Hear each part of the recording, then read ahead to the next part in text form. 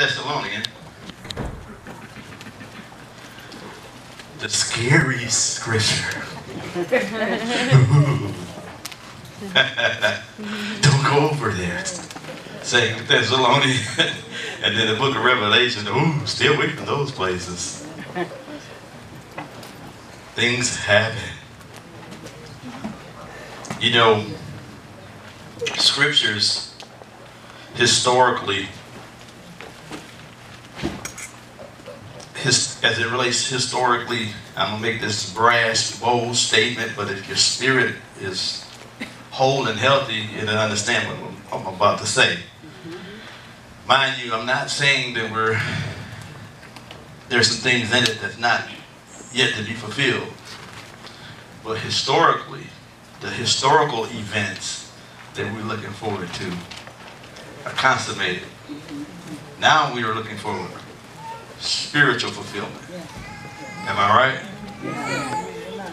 The Bible is the letter without the spirit. But when the spirit and the word becomes one, it gives life. And most people haven't learned to move beyond what's tabulated, what's been recorded, and allow it to actually become a part of our being. It was personified that Jesus is the Word made flesh. Your, your, Bible, my Bible, all of our Bible can agree with what. If you didn't understand what I said before, we can agree that Jesus was the volume of the book, right? He, he is the volume of the book, and uh, I believe in many circles we've tried to place certain things in certain cycles and have not known that theology itself has done harm to us. Eschatology has totally robbed us. But Christology is the highest order of interpreting the scriptures. And you don't hear that shared in seminarian circles. You don't hear it shared in mainline denominations. Everybody contends with theology, the study of God. But there's no contention when Christology is your is your goal. We study Christ. And how, how, many can agree with that? Yeah, that's, that's what we're here for. That's your journey, is to discover Christ. You can't get to the Father without Christ. Jesus said, no man can come to the Father but through me. So Christology is important. Am I right? That is the lens in which we can interpret not only the inspiration of God, and but the restoration of God. Not only the mouth of God, but the hand of God to get things done. Y'all understand what I'm saying? Because I'm going to go somewhere and I'm going to need you. Uh, not that I need you to confirm it, but I need you to be as a uh, as a witness to what I'm about to say and I got to shake you out of some stuff, garbage that's been heaped upon us. Amen. And I and I believe God is He's sobering us up as we're learning from Wednesday nights at dinner thieves. He's sobering us up so that we can become everything that God intended for us to be. Amen. Amen. I, I want to be everything God intended me to be. I'm sorry. I, I, just believe it. I want it. I crave it. I live it. I, it's always in the front of my mind. It's always in my heart. And I, I want us to be a, as well. Okay? So I'm going to talk Christology. Tell your neighbor Christology. Christology. Ain't got nothing to do with theology. Ain't got nothing to do with eschatology. Nothing to do with end time. I'm, we're going to talk about Christ. Amen. Amen. And one of the best places to find out if Christology is correct is in Luke 24. Jesus interrupted the conversation about eschatology. Y'all looking at me funny. The road to Emmaus. They was on the road, two guys. One of them had a name, the other one was nameless. Cleopas. Am I right? So we got relatives. One of us, somebody in here got relatives named Cleopas. but his name means father. His name means father. So an aged man still didn't have the conversation that was necessary. But as they began to cry one to another, it created an atmosphere where Jesus showed up. Am I right? Out of their conversation, Jesus showed up. I am just I'm just hoping that everybody has Sunday school and we read our Bible. Well, I'm paraphrasing. I'm giving you in a, in a, in a, in a nutshell. Trust me. Okay? And he told them, he called them old foolish. Mm-hmm. Because they thought what transpired in Jerusalem was the totality of the volume of the book. Am I right? But he said, no, no, no, they are, which testify me. Mm-hmm. Talked about Moses, the law, and the prophets. So the scroll that they read, and they were intrigued and even missed his visitation when he showed up, the one who personified the very thing that the, the law and the prophets testified of, he told them it was about me.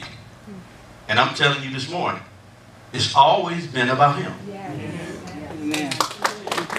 A nation was able to carry the seed Natural Israel carried the seed, but it was all about him.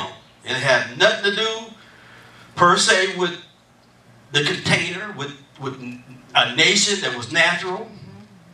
Has nothing to do with any of those things. God chose them to be the first representation and the earnest and the down payment of something what he was going to do with all of humanity. So we're not trying to study theology. I'm, I'm done with theology. I've studied, I've read books, I've gone through my classes. We're going to have a school. It's going to be accredited. You're going to be accredited. You'll be able to apply the teaching and the training, myself and some other people that's going to be sharing. And they all are like-minded. They're not theologians. Per se.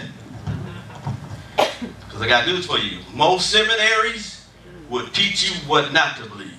That's right. That's right. Most churches will teach you what not to believe. What not to do. Most of them jokers were not filled with the Holy Spirit. Most of your eschatology and theology came from evangelicals that didn't believe in the Spirit. We were called holy rollers. They had nothing to do with us. So it was void of the Spirit of God. Yet, in order for us to understand the, the Bible as it relates to theology, we have to go to a whole system that is anemic and bastardized in, as, in its relationship with the Holy Spirit. So we haven't been correctly circumcised in our heart. And in our ears. And we resisted the work of the Holy Spirit. So we believe everything that they would market to us without inquiring. But now we're in the season of Reformation. Mm-hmm. Fivefold ministry is in the earth. And we're being educated as it relates to both the Word and the Spirit.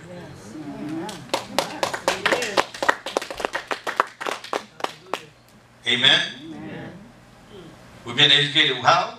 Word. Word and the Spirit. It is a marriage. And like I often say, what God has joined together, Word and Spirit, it was in the beginning of Genesis, it was in, at the end of the scripture in the book of Revelation 22. Let no man, no theology, put asunder. I had to set the backdrop because I'm going to go some places. I started on last week. I, I, I kind of felt, the, you know, like, okay, and most of us, we've been exposed to this line of thought. Am I right? It's pretty easy for us. We got some new faces, so I had to walk gingerly, you know, like Ruth. Uh, not Ruth. Yeah, it was Ruth. Had to, when she went to, uh, down to the threshing floor, she had to walk softly. So sometimes when you minister, you have to walk softly. Because you get wrote off if it don't register right. They'll be like, give me Barabbas! Remember? It was like, Hosanna! Save now, I beseech you. Then when he didn't comply to what they wanted, they said, give us Barabbas! So when you go counter-cultural, people don't want what's going to help them. They're going to want what's comfortable for them. All right, so let's go to Second Thessalonians. I'm going to repeat some of the statements I made last week. Take my time because this is going to be a precursor to some where we're going uh, as it relates to next year. I got some things I want to share for next year. Amen. And I want to set the climate. All right. Okay. Second Thessalonians verse one. Second Thessalonians. Second. Second Thessalonians two. Yeah, verse one. Uh, I didn't know. The screen is blank. I'm like, I got a blank line. I'm trying to make sure. Okay, yeah, Second Thessalonians two. Sec- okay. Second Thessalonians, the second chapter, verse one. We will start. Now. Now we beseech you, brethren, by the coming of our Lord Jesus Christ and by our gathering together into, not unto, into Him. Into who?